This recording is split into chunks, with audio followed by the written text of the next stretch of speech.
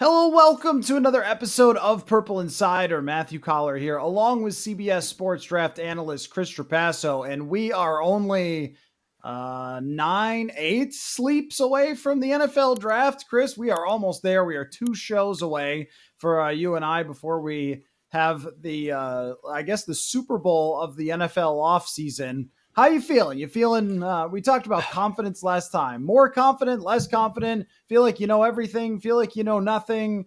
How are you? I feel like I know nothing. That's for sure. Even though I've watched over 300 prospects, it's kind of a weird, it's kind of like a paradox. Like I've watched all these guys, but I'm like, I don't know where they're going to go. I don't know if they're going to necessarily be good or not. I haven't educated guess, maybe more than the public, hopefully. But actually, today, even though I just told you off air that I'm in the camp of the draft should be like the first or second week of April instead of like the third or fourth week. I felt good today. I think because we're zeroing in on one week away, we're starting to get those maybe not final mock drafts, but second to last mocks, some more substantial rumors that seem to have more legs than just kind of throwing stuff at the wall right after the combine. So I, I, I felt good. I felt that reinvigorated feeling like, holy crap, the draft is almost here finally. I feel the fatigue from our listeners of hey are they to take a quarterback? Like you could kind of tell like all right we can really need something to happen here and i am with all those people. And i've always been with you on that take that like it's probably time two weeks ago. Now, the NFL, they know how to do everything. They get the draft type, and then they're like, hey, you want the schedule? I bet you do. And then, like, let me just throw in a little mini camp just to spruce things up for you, a little rookie mini camp, all those things. And then they give you six weeks off in the summer, and it is training camp pedal to the metal. So the NFL knows how to never take its foot off the gas. But I do wish that we had a little less speculation, like leading up to it two, three weeks earlier. I think every team's probably ready to go by now. Although I did see these, I never pay any attention to who visits who because I've never found there's any correlation. But I did no. think it was kind of interesting that Hendon Hooker, this man has racked up so many frequent flyer miles. Like he's going and visiting all these teams, and he was visiting the New York Giants. That it's like, who has Hendon Hooker not visited? But it did make me think, and I've got a bunch of mocks I want to talk about in the most absurd fashion we possibly can. But it did make me think about how many teams in the league that even we think have quarterback situations that are fairly settled that still don't. So when it comes to the conversation about where some of these guys going to go that aren't the top two or three, you know, the New York Giants are one I never would have thought of. Oh, they gave Daniel Jones a bunch of money. It's like, but what if he drops to whatever? And I think that's what uh, I think is carrying the most intrigue about this draft is is there somebody in here who's going to surprise us with these quarterbacks? Yeah, I think there usually is. And to your point, to kind of extend it, it's, I think we have to look at, and I've kind of just noticed this over the years. You probably have too, Matt. Teams that have like an established veteran, even if they just signed him like the Giants did, if that quarterback was not originally obtained by that current regime and he's a little older, let's say Ryan Tannehill in Tennessee, that on the surface, you would say, hey, yeah, I mean, they got Ryan Tannehill. He's like a top 20 quarterback, maybe at times top half of the league quarterback. No connection to the current GM, Ran Carthon. They drafted Malik Willis last year in the third round. They could be that quote unquote surprise team. And really, at this point, I don't know if they would be that much of a surprise. So if you look back last 10 to 20 years, there's usually a team or two that sniffs around the quarterback market and ultimately picks one because of that. Not hey, they have only a rookie and a, a you know entrenched journeyman as their quarterback two and three, but a lot of times these new front offices are already looking ahead to the next season or who the next quarterback will be, knowing that they're just not that happy with the long term solution that's already on the roster.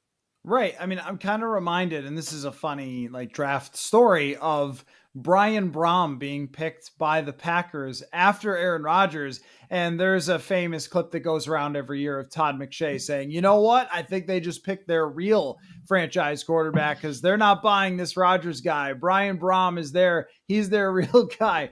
And he Wow. played what a little bit for Atlanta or something, a little bit for the Bills too. Buffalo. Yeah, that's right. I think he started like a week 17. He started a blowout, like where they Yes. got crushed by the Falcons. I think he completed like five passes. Oh, it was against Atlanta. I was trying It was to remember against Atlanta, like, yeah. If he was playing for Atlanta or Buffalo, because I do have that in my mind.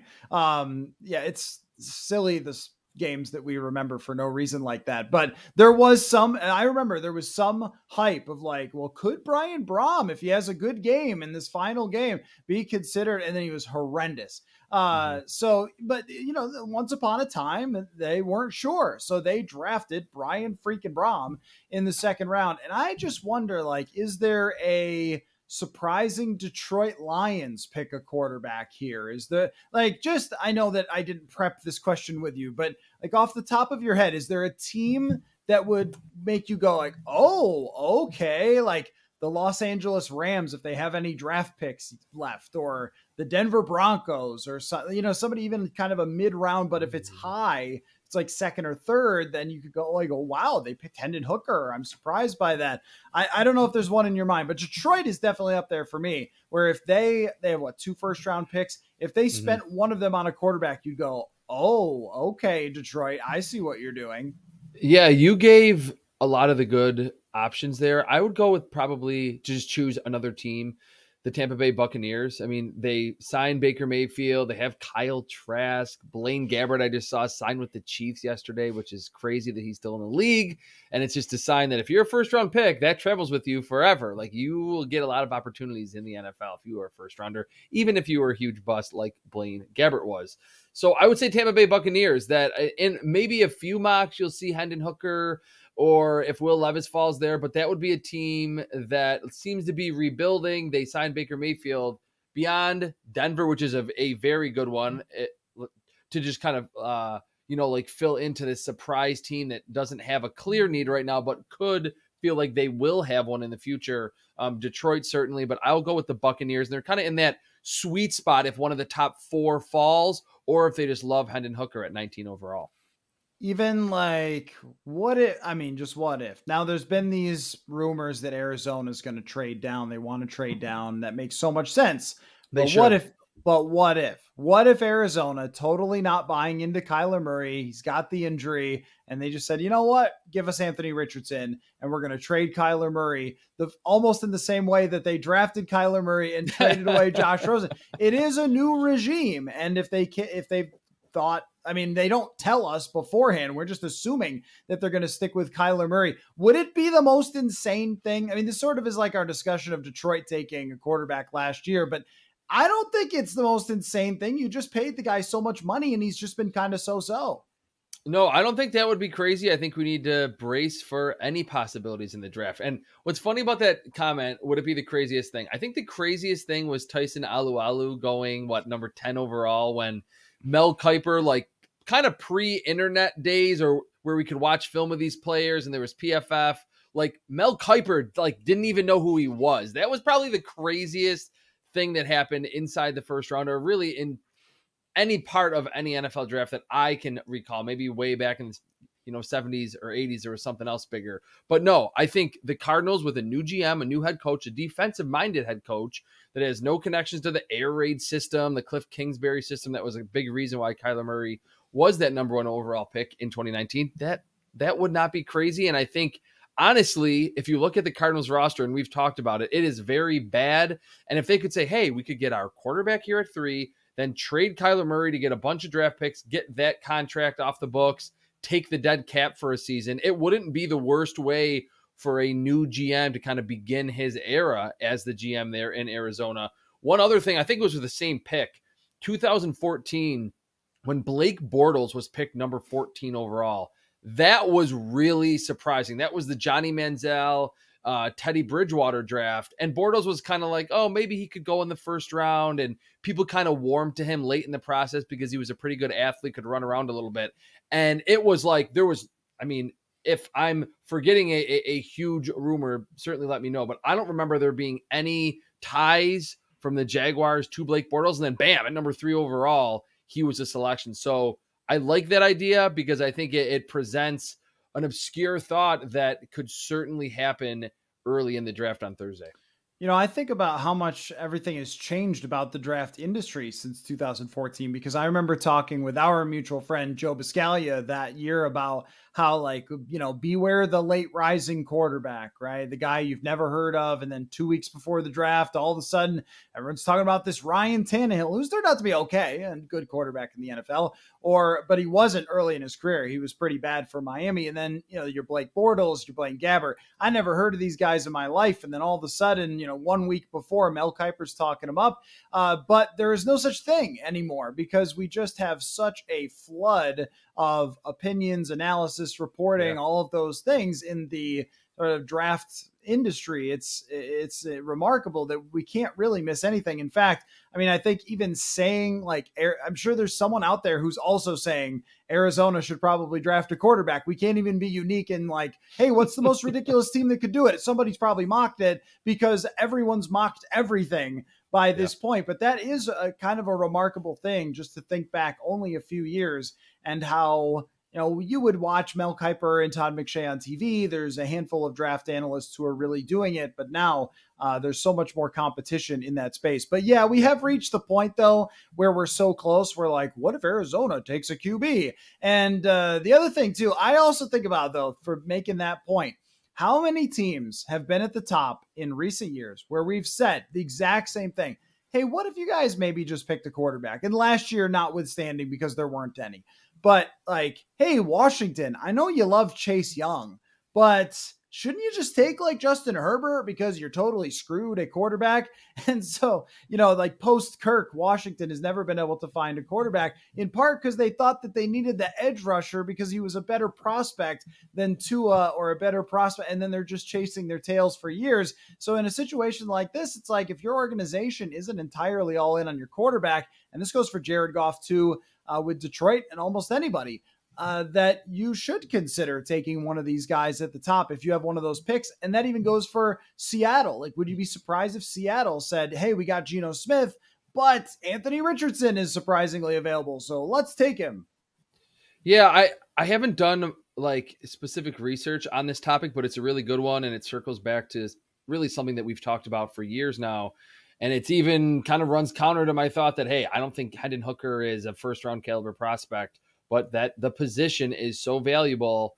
But I was going to say that, that it, I don't know this for sure, but it does seem like a lot of that Washington Chase Young uh, scenario. We look back upon it four years later and we're like, why did they not pick a quarterback? Why did they think picking Devin White or picking Devin Bush or trading up for Devin Bush at the time uh, was the right decision when they should have gone quarterback or they should have looked at that position or trading back and pitching and picking Patrick Surtain, things like that, where it's almost like we look back and of course there's not five all pro quarterbacks in every draft class, but there are feels like it's littered with these stories of yeah, this team just passed, like you mentioned, on Justin Herbert or on the chance of rolling the dice on Justin Fields and seeing what you get with him or Deshaun Watson and Patrick Mahomes and Josh Allen because they wanted that top level corner or they wanted that number one safety. And you're like, what are you guys doing?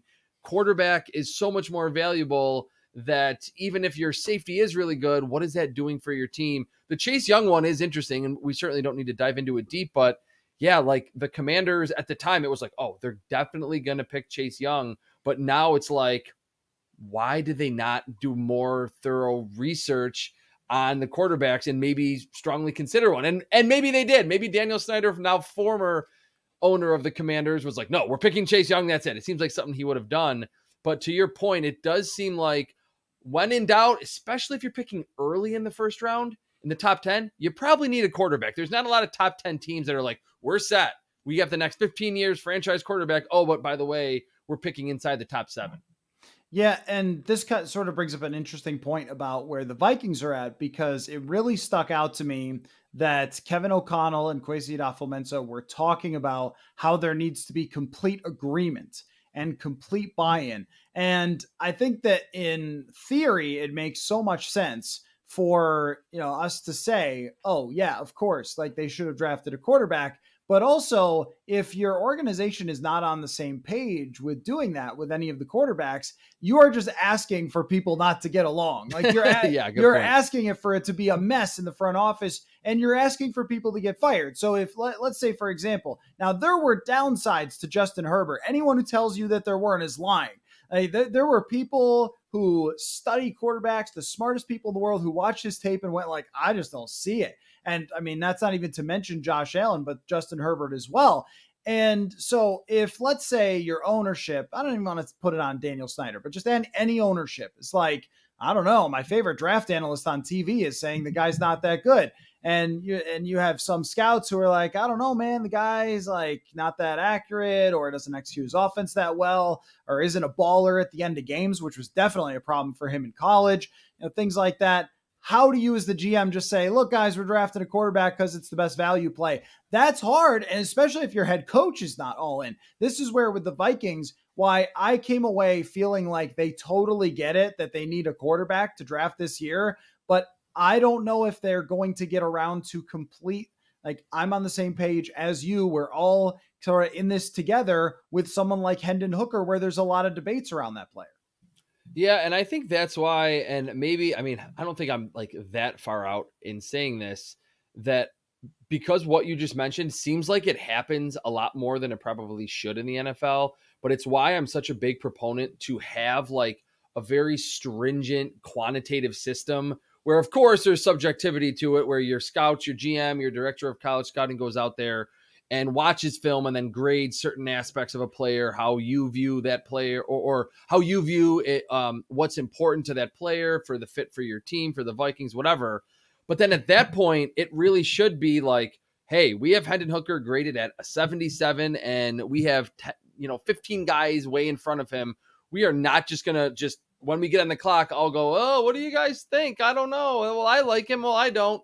It's not a fun thing to do, I assume. So I think we always hear GMs and coaches say, hey, we stuck to our board. But what you just described, I think happens a lot where, like, years later, after guys are fired or they're on different teams, they'll say, oh, well, three of us really like this Justin Herbert guy, but our one GM really liked Tua. And so he was the GM, so he ultimately pulled the trigger. I think that leads to bad drafting, and there's way too much murkiness when that goes on. And it, again, is not really true to what a lot of these GMs say ultimately after the draft or after every single pick that he was the highest graded player on our board when I I think a lot of that infighting goes on like on the clock when the picks need to be uh, sent in.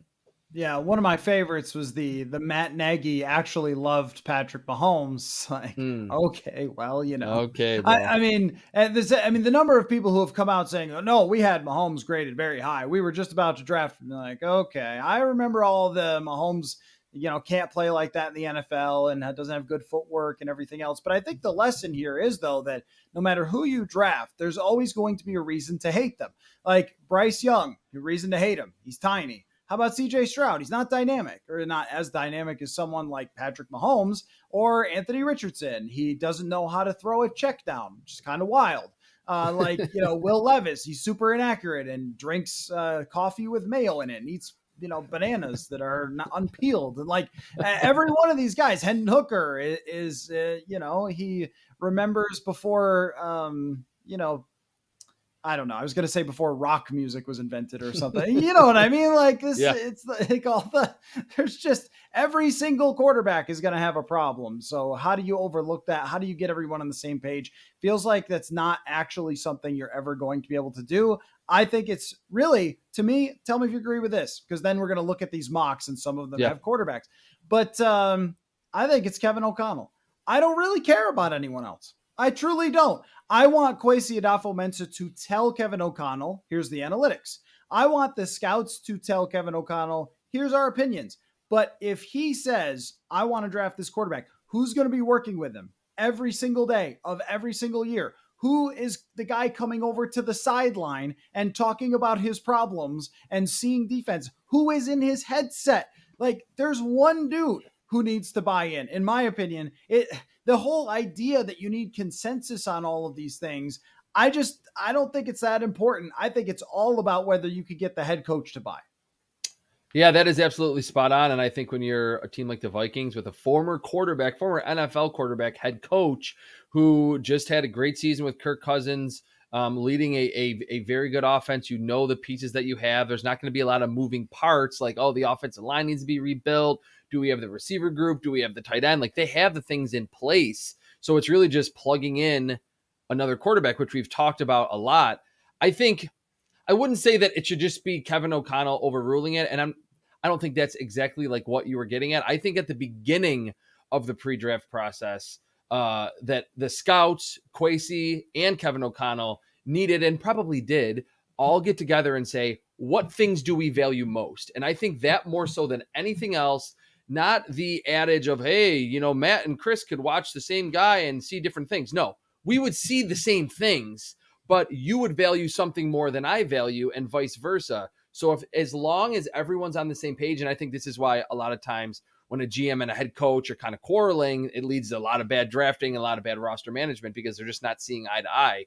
But if Kwesi and Kevin O'Connell, who appear to have a pretty good um, rapport together, if they got together and said, "All right, I need a quarterback that's great on the play action bootleg," blah blah blah, whatever the case may be, send out the scouts to find these type of players or have them use this rubric to grade these players. Then I think at that point you're set up. If you're the Vikings or really any team to say, all right, we are going to make a pretty close to com- consensus opinion or choice if we do pick a quarterback. And I think what's good for Vikings fans and the Vikings as a whole, having an analytics based GM, I feel like he would be very much for that stance of not doing the whole murky back and forth, um, you know, subjective thoughts while we're on the clock. I think the Vikings probably have a pretty sophisticated system in place to decide whether or not to pick any player specifically a quarterback, and Kevin O'Connell is probably weighing heavily on that decision.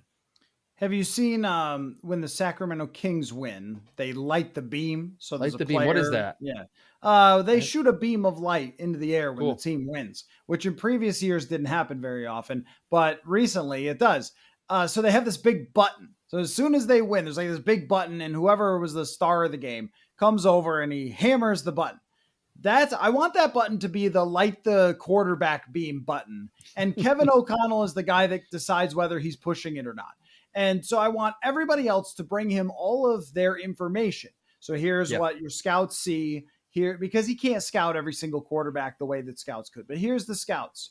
Here's your personal interview with him and our sports psychology guy, our GM, our scouts on his uh, the cognition test. Here's all that information. Here you go. I'm submitting it to you. You want to light the beam or not? That's what I want him to be the one to decide whether he's pushing the yeah. button. It's not like, oh, do you want to do it? Well, I guess I would. Would you do it? Would you do it? Would you do it? That kind of thing. I want it to be that he shouldn't care if Kwesi is against it. He shouldn't care if his scouts are against it. If he takes all the information and decides that it's the right thing to do, then he should do it. And if it goes wrong, then he'll have to own it. But at very least, you're never going to have the head coach being like, you guys told me this and you guys agreed on that and that turned out not to be true whatever like make it his call because he's the guy that has to work with it i don't know if that's how it's actually working because they're always going to say in public oh yes we're all on the same page just about everything i don't know that you can even decide on pizza toppings for about 10 people much less getting an entire organization yeah. uh, on the same page about a quarterback of which we all have a million opinions speaking of which I got five mocks. I've pulled Let's check them, them out from the internet. It was amazing. It was so hard to find any mocks on the internet. It was just like I spent hours and yeah. hours deep diving. Has anyone mocked the draft? And I found just five on the whole internet. One from CBSSports.com, by the way, mm. uh, from uh, your buddy Ryan Wilson. So let's start with Kiper McShay. They did a dual mock, kind of like we did. They maybe they stole the idea from us. Uh, and they have Joey Porter Jr. going to the Vikings, them passing on Hendon Hooker, and then taking uh, Colby Wooden, a defensive tackle in the third round. Let's not worry too much about that. But I think a home run non quarterback scenario, Joey Porter Jr. out of Penn State. Your take on the Kiper McShay mock. I didn't think that those two could actually get together. I mean, talk about two people agreeing on something uh, to do a dual mock. I'm kind of surprised that they were able to to kind of pull that off for the sake of content during draft season. Maybe that's the only reason why. Um, yes, it would be a home run. I have Joey Porter as my number two corner. Uh, I feel like we talked about him even before he worked out at the combine. That he just looks like that Brian Flores type uh, corner. He's got 34 inch arms, which is offensive tackle length. That's kind of been my go to saying with Joey Porter all offseason. Um, is he like Darrelle Revis in man coverage? No, but I think his high level flashes are good enough that Brian Flores should feel good about being able to get the most out of him. If you look back when Xavier Howard was coming out of Baylor, I think 2015, 2016, uh, that was the kind of same type of scouting report that he had very high highs and he might be an all pro, but at times he looks like an undrafted free agent. And certainly with Brian Flores, he rose to that level of being this premier takeaway type corner on the outside. I get similar vibes with Joey Porter. Um, and obviously, I, I don't have it in front of me of who is still available, but it would be very hard for you know someone who's in my top 10 to still be on the board at 23 that would be a better selection in terms of talent in terms of value and just need with this vikings team in the first round so the Kiper McShay uh, Illuminati or whatever here, uh, they did not pick Quentin Johnson before Johnston before the Vikings. So that would be one guy. But aside from that, they've got several wide receivers coming off the board. Uh, Nolan Smith is off the board in this situation. Calijah Kancey. So a lot of it makes sense. Yeah, so it makes sense. yeah. I think that there will be people if they draft a corner who will be like, no, stop drafting corners. But I do think when we're talking about Joey Porter, he is of a different ilk than the other corners that they've recently drafted. Andrew Booth Jr. was a second round draft pick with some serious injury issues. Uh, Jeff Gladney was, I think, 30th, 31st, somewhere in that range. Mike Hughes was in the 30s. You were not getting more of a premium player. Now, I know 23rd, but he is being considered by kind of the uh, draft analysis world as more of a top 15 pick. Yes. And I think if you compare him relative athletic scores, combine performance, performance in college, length, speed, all those things. I don't think there's any comparison to anyone the Vikings have drafted recently at that position. No, definitely not. I mean, Mike Hughes was smaller. Andrew Booth was decent sized, but the injuries kind of made him a little scarier. Jeff Gladney was super twitchy, but he was smaller, lighter. Joey Porter is your like Xavier Rhodes slash, like I said, Xavier Howard type big, physical, and athletic, not stiff, outside cornerback number one. So I think after losing Patrick Peterson this offseason, it, it makes sense. And again, because of the impact, the presence that we heard so much about from Kevin O'Connell and from Kwesi at the combine of Brian Flores on this defense, it I could see if you're just afar as a Vikings fan and you just think, oh, look, 10 years, they picked so many corners. New GM, new head coach, like, yeah, they know about the history with Rick Spielman and that regime, but they can't change their draft because Rick Spielman and Mike Zimmer picked a lot of corners in the first round. Trae Waynes was another one who was smaller, speedy, fast guy, was not that big time, like check the box physically and athletically with length. So a lot of the corners that that regime picked were way different than Joey Porter Jr. And you're right. Not just me, but a lot of other people in the industry that I'm in view Joey Porter higher than number 23 overall, especially after what he did at the combine. You know, I was thinking about this about corners and just how, uh, and I, I was curious about Trae Waynes and how big he came out of the draft. And I'm really amazed at his arm length and hand size were as small as anyone that you're ever going to find to ever come out. Like he ran a 4 3, but his hand size was eight and a quarter, which is maybe like mine, and 31 inch arms. You might have longer ones than that. So that's kind of interesting that yeah. he he did not check those boxes. And just a real quick before we get to some of these other picks that people have made for the Vikings, and there are a lot of different ones. Uh, I think that you should draft corners in the first round if they're an absolute freak, insane, built in a lab, or wait till later, or don't pick one at all where wide receivers I feel totally different. I feel like, oh no, just get one. If they do one thing good, they'll be fine. I just think mm-hmm. that these uh, these positions kind of have like nuances to them like that. So draft Joey Porter Jr. or Deonte Banks, who's an absolute freak, or just like don't do it. Um, don't get average, don't get small because you could probably find guys who can repeat that. Uh, do you have a thought on Colby Wooden? I have no knowledge of Colby Wooden. I actually really, really like him. I don't have it up right now, and I don't want our recording to lag or anything to look at my actual scouting gradebooks big board. I'm pretty sure I have him like graded in the second or third round. He's one of those like 6'3, 285, like truly inside out rushers. If the Vikings were to draft him, or really whatever team that drafts him, if they use him like as a defensive end, he's going to be kind of eh. If they use him as maybe a quote unquote base defensive end on first down and then second and third downs, which to me are the passing downs today, inside, he can be a really useful player. And I think that is a type of of uh, piece that the Vikings don't really have. They have Khyiris Tonga, they have Harrison Phillips, they have the big, bulky run stuffers to get a little bit of more juice. Um, he's kind of like Dean Lowry, who they signed from the Packers, that he can be that kind of 3 4 defensive end. But you actually, in nickel situations, would love to use Colby Wooden, who does have juice up the field, uses his hands really well. That would be a nice addition to the defense in the third round for the Vikings. I just think they need somebody who can not just push the pocket, but actually yes. get to the quarterback and make some plays. Uh, your guy, Ryan Wilson, CBS Sports, has Jordan Addison to the Vikings, which of course we have mocked and gets a, an A plus. Now I'll give you all of his picks here. Garrett Williams from Syracuse in the third round. I have also draft simmed that one. Cam Jones, a linebacker from Indiana. Jake Haener from Fresno State, the quarterback, interesting, and uh, Jerrod Clark, a defensive lineman from Coastal Carolina, go Chanticleers. But uh, intrigue there. I mean, I think we've talked a lot about Jordan Addison. We both like that. I have not heard your take on Garrett Williams. Torn ACL, people would be mad about that, but uh, interesting player, maybe some man coverage skills. Do you have a thought on Jake Haener? I know we always are so dismissive of the mid round quarterbacks. People seem to like this guy, though. Well, I did write an article and I, I took a long time on this early in the pre draft process. It was kind of the low hanging fruit where an editor said, let's do a piece of who could be the next Brock Purdy. And I kind of pushed back and said, look, Brock Purdy was the most uh, product of the environment quarterback I think I've ever seen in my life. But he was a rookie. He did make some good throws. I mean, he didn't wasn't deer in headlights. I picked Jake Haener because he feels similar to Brock Purdy for a few important reasons.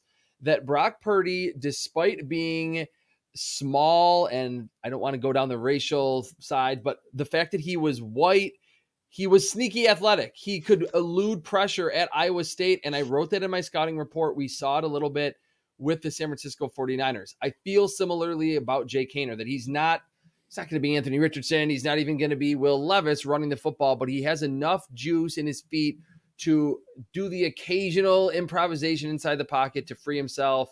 Very productive, multiple year starter. I think for those mid rounders, you want a lot of experience unless you're just picking like a super project that's 6'6, 250 with a rocket arm.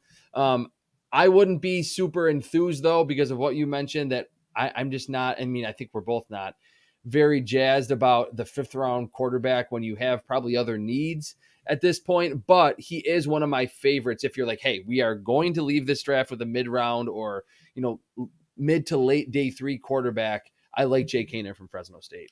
Uh, do you think that uh, Brock Purdy had a high motor? Was he gritty? Was he classy? Was he? I didn't. I didn't write that. I but I, know, I did. I, I didn't write all those things, but I did write like and maybe it was like me showing some of my like bias that I that I guess I have that I was like I watched the film and Iowa State and I'm like, oh, this guy's like making these Big 12 defenders miss like routinely and making plays outside the pocket. You just don't expect that from an undersized white quarterback at Iowa State. He did that. And I think if there was kind of anything that kind of helped him in this amazing environment in San Francisco that surprised people as a rookie, I think it was that uh, to your point, I mean, he's one of the smallest quarterbacks in the league, and he ran a 4.84. So there was really no reason to think that there was something there. And yet he does have playmaking ability. The way I would put it is someone like Brock Purdy, this is just what I think his career is kind of going to be like.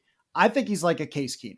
I think he mm. can have hot stretches if things go his way. He can make some plays. He can be fun, but I don't think he's going to be a like year in and year out. Could be old take exposed, but if you look at Case Keenum, I can grab you five game stretches of his career, even when he was really young in the NFL. 300 yard like, games. Oh my God, this guy's amazing. And then the next five games are not exactly the same. We just never saw the next five games from Brock Purdy. I feel the same way with Jake Haener. If your top end is a Case Keenum, that's great for a backup. Maybe you want that. Uh, but as far as a consistent year in and year out starter, let's talk about all the quarterbacks who actually are that and how many really look like the next Brock Purdy and so forth. But yeah, it is always it is always a, a gem to listen to some of the draft analysis of like more athletic than you think. But I think in this case, you actually make a good argument. So uh, anyway, okay, so uh, Garrett Williams though, the corner from Syracuse, uh, yay or nay?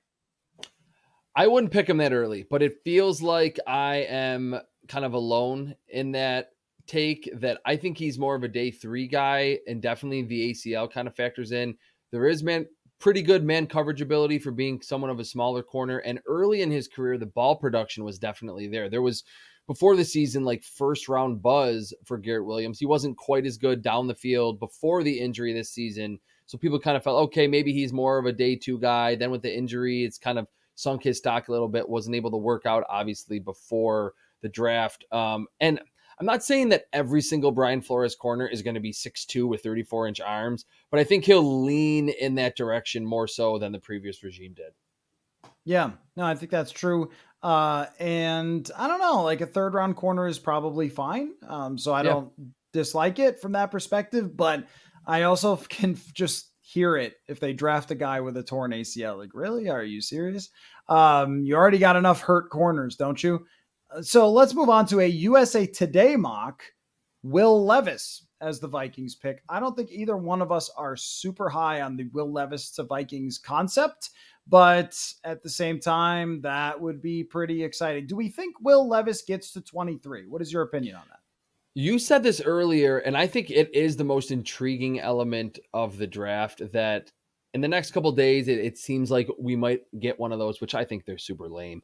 One of those like Adam Schefter, the Panthers will be picking Bryce Young. It's like, come on, just let us have something that's not instantaneous today.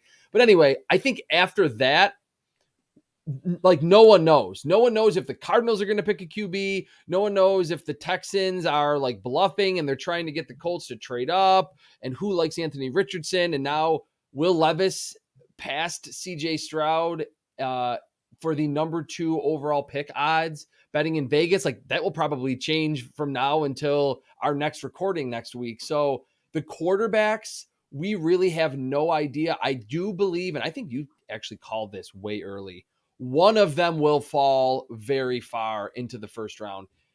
There's some thoughts that it could be Will Levis, but it, the fact that that actually happened like last week, where that was kind of the conventional wisdom. Now this week, it's kind of like, no, I think it's going to be Anthony Richardson. It's like, who's going to be next week? Is it going to be CJ Stroud who's going to fall? I mean, no one really knows. So to answer your question, I think beyond just the intrigue and how fascinating that's going to be, I think there's a decent chance. And for as much as I've kind of poo pooed the idea of I would not pick Hendon Hooker. I do not think there's upside for many reasons that we've pointed out. And I don't love Will Levis. He's he's uh, clearly my quarterback four in this class. Pretty sizable gap between him and the top three. I would much more um, advocate the pairing with him and the Vikings than I would with Hendon Hooker because I think just being younger, having a stronger arm, having more capabilities in the designed run game, although we don't really know how much Kevin O'Connell is going to utilize that with all the great surroundings that a young Vikings quarterback would have, I like Will Levis's chances to blossom and to maybe tap into all those strengths more so than Hendon Hooker or any other quarterback that they could reasonably pick at 23 overall.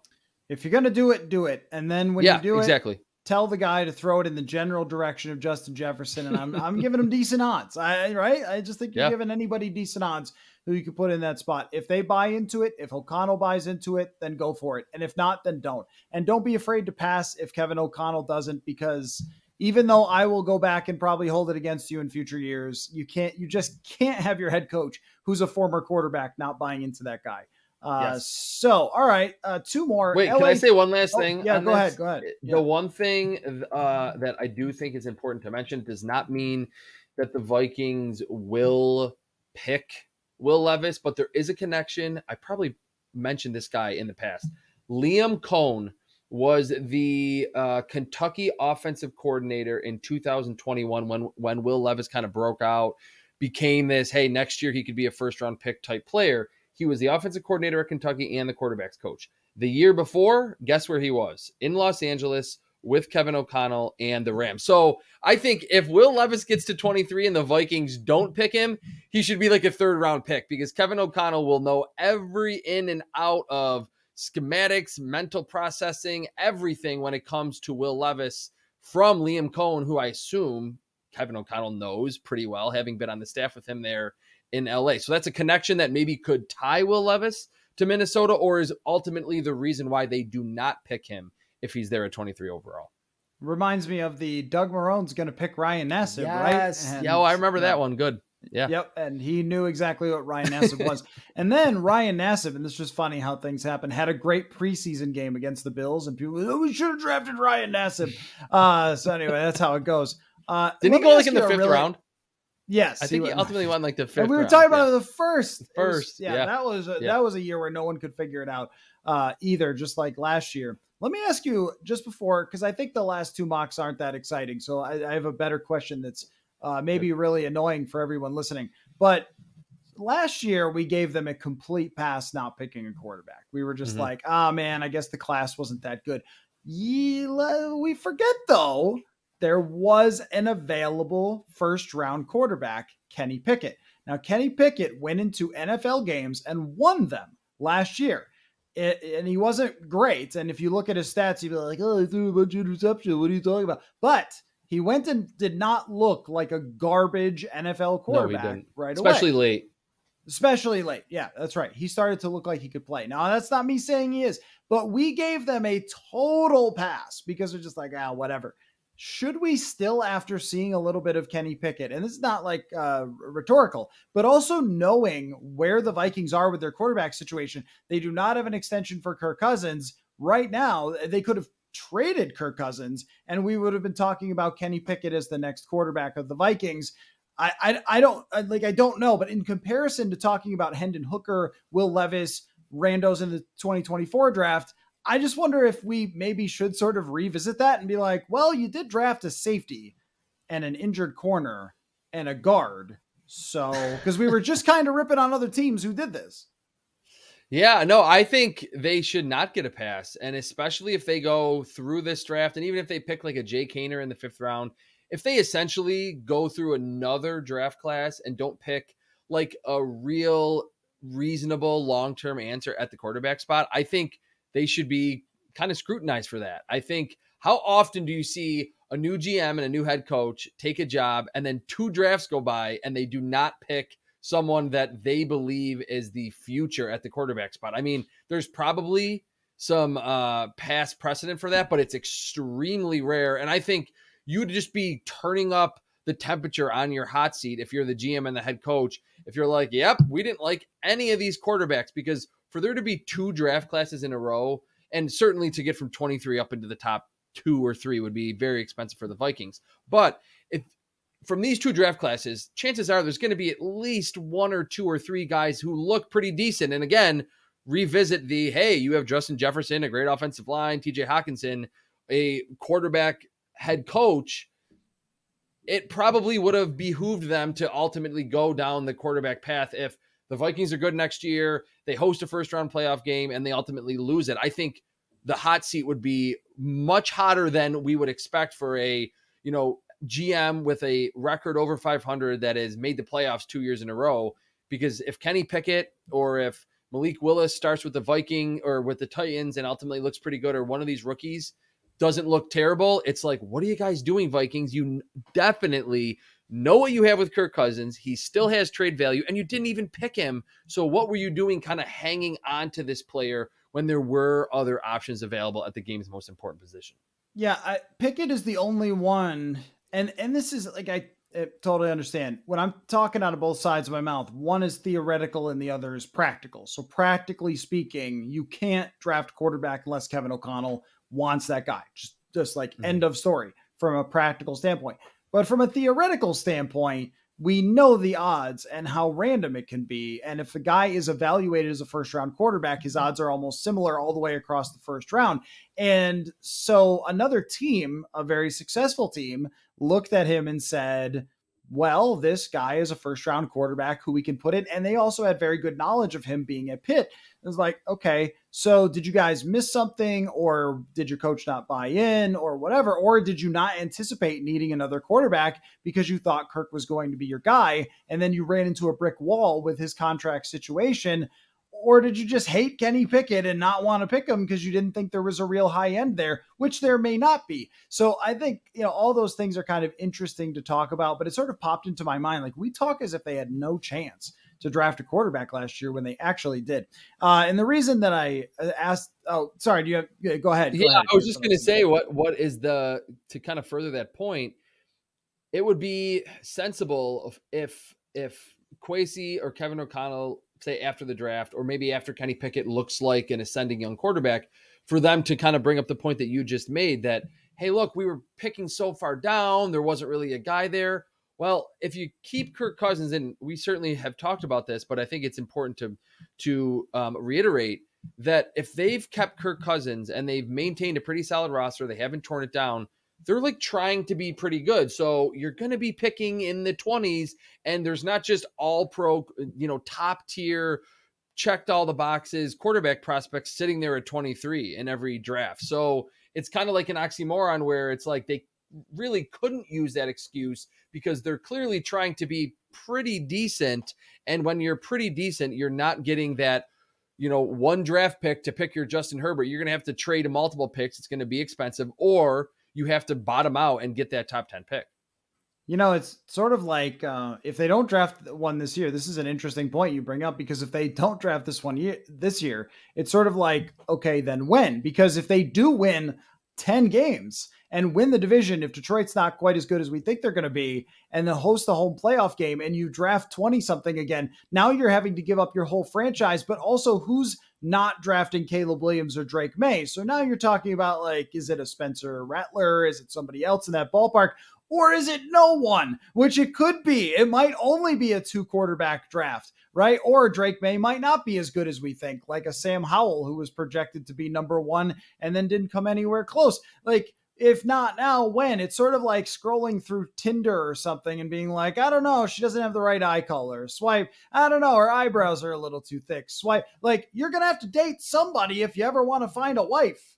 Yeah, and I think I've I was never on Tinder. I was uh, engaged, I think, before Tinder, or I was definitely with my current wife, and then was engaged like as Tinder kind of took off. But I certainly get that point and it's it's kind of bringing up what I mentioned earlier that it's rare to see a GM and a head coach go two or three drafts without picking a quarterback.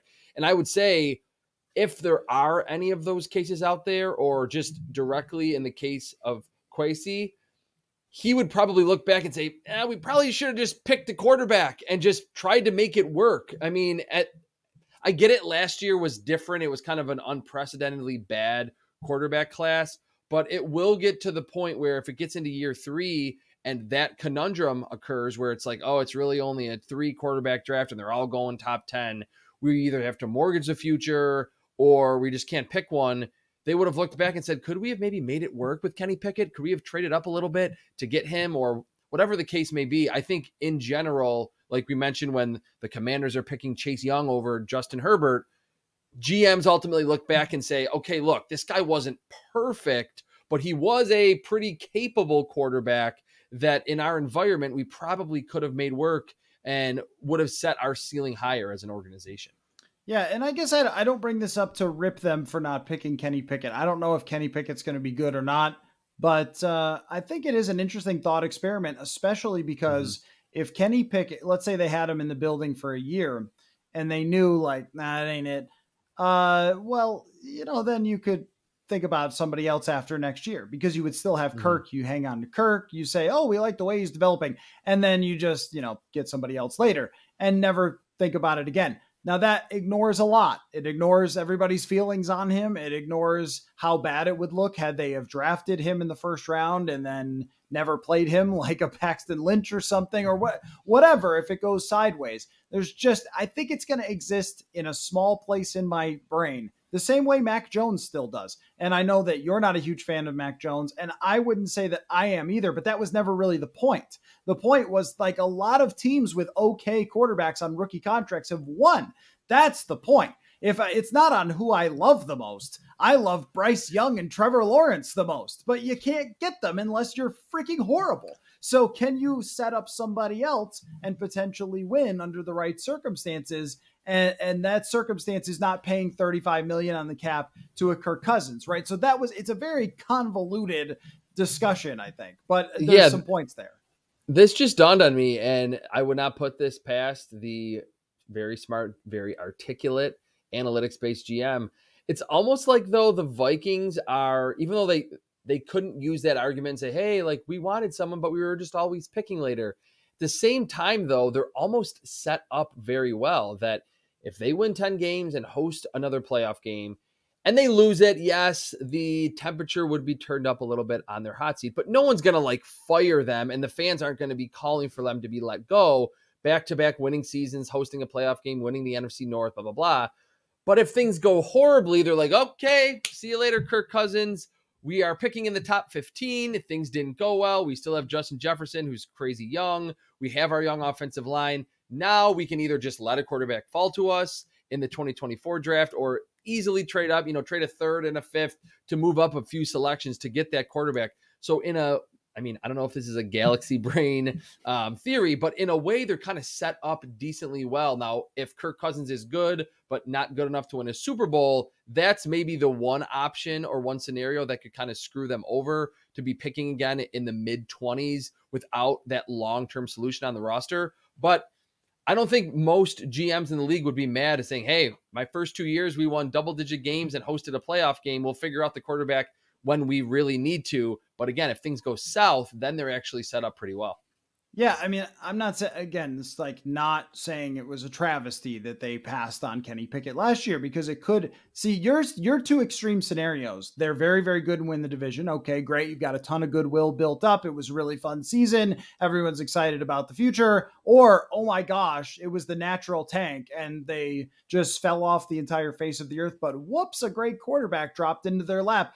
Those are good. What's bad is if you go nine and eight and you miss the playoffs or you Ooh. make the last seed and you lose in the first round. So you don't draft high and you don't have a great roster and you don't have answers and it wasn't that fun of a season and everyone thinks you're just purgatoried forever, which you are. So that, and if there is no other first round quarterbacks that really show up, this is the sort of like, here's a really good case, here's a great case, here's the worst case type of scenario if you had drafted a quarterback last year in Kenny Pickett, the lone guy who was worthy of a first round pick, then you would really be quite clear. Either this was already the last year of Kirk Cousins, but off 13 wins, maybe you'd say we're going to run it back. Two years of development. We know who our quarterback is next year. And look, it might bust or it might be amazing or whatever, but at least you could have this really nice setup situation to go into the future. Two years with the guy behind the scenes, all those things. And then if he wasn't clear, or if you play him and he stinks, then you could draft another quarterback eventually after that. Like, so yeah, yeah it's there's not one route to this. And Kwesi talked about that. Like, there's plans, there's a plan B through plan Z. There's all sorts of different plans for this, but that would have been one of them is to say, even though we're not fully, fully bought in, he's not the next Jim Kelly or something, but you know, he might be able to fit into this really well and win with a great roster. So, anyway, uh, the only thing I was going to say is the other two mocks that I had, one had Quentin Johnston, the other had Nolan Smith, and I would give big thumbs up to either one of them. If those are the guys you draft, great edge rusher with crazy speed for Brian Flores, receiver who's an absolute beast who you've been banging the drum for. Yes. Yeah, okay. Those those work for me. I don't want to spend too much time on it because we've already gone past where we usually go, but like the, the Vikings should have good options at 23 if they want to stay. I think is one of the main takeaways from all the mocks. Yeah, they should. And I think it's it's weird that they won as many games as they did, but at the same time, it's like they kind of have a fair amount of needs and they're at different positions. So if it's Joey Porter, good. If it's Jordan Addison, if it's Quentin Johnston, if it's an edge rusher, which is kind of a sneaky need, I think it would make a lot of sense. They probably will have at least two guys available at 23 that we've talked about at length that we both agree would be good selections there in the first round. It became less sneaky after Danielle Hunter didn't show up for offseason activities, I think. Yeah. So, yeah. Uh, Chris Trapasso, CBS Sports draft analyst, and uh, we are getting close, man. We are going to have one more show before the draft. We are going to mock the ever loving heck out of that show. And then we will have our all time epic uh, breakdown of the draft after that. And that will conclude our draft season uh, again. So we are getting very close. Appreciate you, man. This was very uh, exciting. And I like, you know, a little bit, even though I'd rather be doing the draft like today, that uh, we went down some rabbit holes with this. So thanks for your time as always. Thanks, Matt.